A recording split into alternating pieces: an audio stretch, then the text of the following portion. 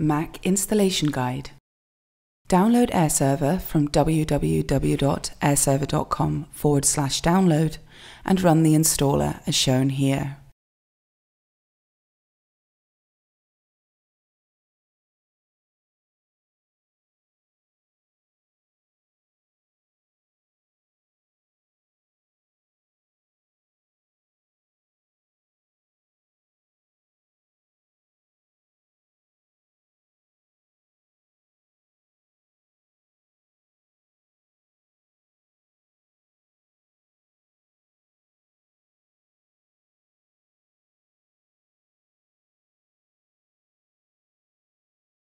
Once installed, find AirServer in your application folder and open it.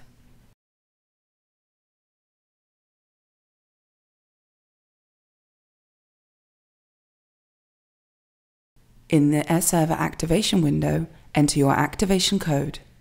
If you purchased AirServer, your activation code would be sent in an email immediately after the purchase.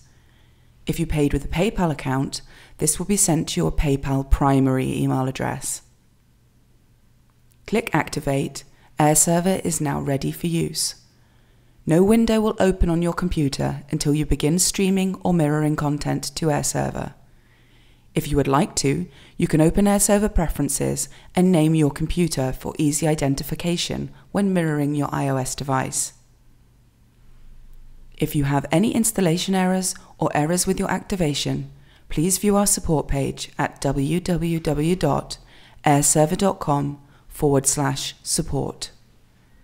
If you need to know how to mirror, please see our video tutorial on how to mirror in iOS 7.